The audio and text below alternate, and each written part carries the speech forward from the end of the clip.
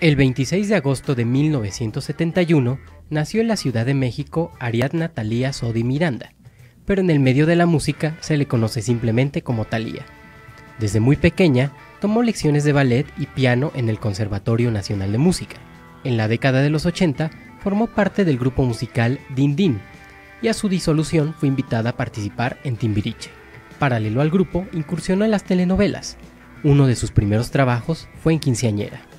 Dejó a Timbiriche para en 1990 lanzar su carrera como solista. Sus primeros discos fueron un gran éxito en México.